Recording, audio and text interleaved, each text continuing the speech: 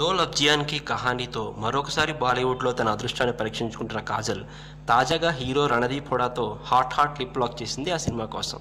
అయితే Kajal Agarwal lip lock మీద చాలా చాలా చర్చలు జరుగుతున్నాయి. ఇది కాజల్కి తెలిసే పెట్టారు అని కొంతమంది అంటుండగా ఆమెకు తెలియకుండా కిస్ పెట్టించేశారు అని మరొక టాక్ ప్రచారంలో ఉంది. అయితే ఈ విషయమై కాజల్ అగర్వాల్ స్పందించింది. ఈ లిప్ లాక్ పూర్తిగా తనను మొత్తమే షూట్ చేశారని అప్పుడు తను పూర్తిగా స్పృహలోనే ఉన్నానని చెప్పుకొచ్చింది. ఈ ఈ టాలీవుడ్ చందమామ.